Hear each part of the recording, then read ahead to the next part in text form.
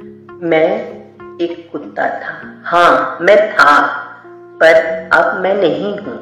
नीचे आप ये जो तस्वीर देख रहे हैं, वो मैं ही हूँ। शायद आप में से कुछ लोगों को ये विभत्स दृश्य देखना अच्छा ना लगे, पर यही मेरी नसीब था, क्योंकि मैं एक कुत्ता ज़िंदगी आसान ना था मेरी, पर उस छोटी सी ज़िंदगी को भी मैं हर दिन जीता था। मेरा दिन शुरू होता था रास्ते पर खाना ढूँढने से और मेरी रात भी कुछ इसी तरह की होती थी। कभी खाना मिलता था तो कभी नहीं। मेरा हर दिन एक उम्मीद लेके आता था। कुछ अच्छे लोगों से सामना होता था तो कुछ बुरे लोगों से। कोई थोड़ा बचा कुछ खाना दे देता था तो कोई लाठी पत्थर मारता था। कई बार चोटे ज़्यादा ज़ोर से लगने की वजह से मैं दर्द से रोता था बिलकता था, पर मैं बोल नहीं सकता था ना। तो कोई कैसे सुन पाता मुझे?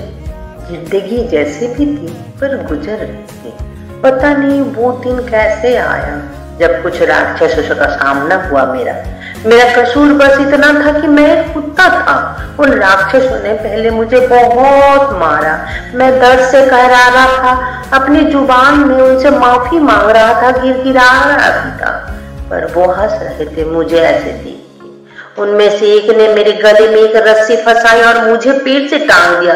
मैं ज़िंदा था और मेरा दम घूट रहा था। मैं अपने हाथ, पैर मार रहा था और उम्मीद कर रहा था कि कोई आकर मुझे इस तकलीफ़ से निकाल ले।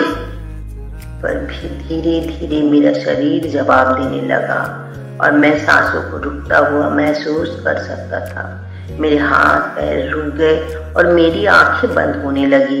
एक रोशनी दिखाई दी मुझे। मानो ऐसे लगा जैसे अब कोई तकलीफ़ नहीं हो मुझे।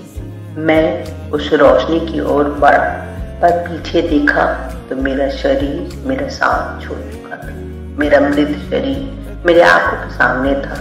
मैं चाहता था शरीर में वापस जा सकता था, पर अब ये तकलीफ़ सहन नहीं होती। मैं जीना चाहता था। मेरे कुछ दोस्त थे। रोज रात हम बेवजह भोगना पसंद करते थे। जब रास्तों पर गाड़ियाँ चलना बंद हो जाए, तब हम अपनी मटर गश्ती चालू करते थे। हम खूब खेलते थे। पर अब मेरा कोई दोस्त नहीं। अब वो रातें तो होंगी, पर उन रातों में मैं नहीं। वो रास्ते तो होंगे, पर उन रास्तों पर भागता हुआ मैं नहीं। मैं आज़ाद हूँ। कभी मिलूँगा किसी और रूप में। इसी उम्मीद में मैं कि इन राक्षसों के बीच कुछ अच्छे लोग भी होंगे जो हमारी तकलीफ़ समझ जाए। तब तक के लिए अलविदा दोस्तों। अब जाना होगा मुझे। बस यही थी मेरी दास्तान।